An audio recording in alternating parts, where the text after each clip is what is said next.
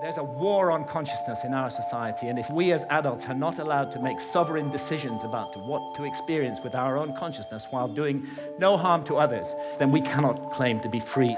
Vast problems of global pollution that have resulted from the single minded pursuit of, of profit, the specter of hunger that millions every night go to bed starving, that we can't even solve this problem despite our alert problem solving state of consciousness. And look what's happening in the Amazon, the lungs of our planet, this precious home of biodiversity. The old growth rainforest being cut down and replaced with soybean farms so we can feed cattle so that we can all eat hamburgers. Only a truly insane global state of consciousness could allow such an abomination to occur. And I did a back of an envelope calculation during the Iraq War.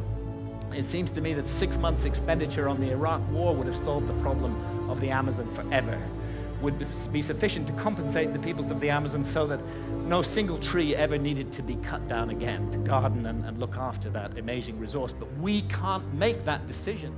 It's useless for our society to go around the world imposing our form of democracy on others, and we do not allow individual freedom over consciousness.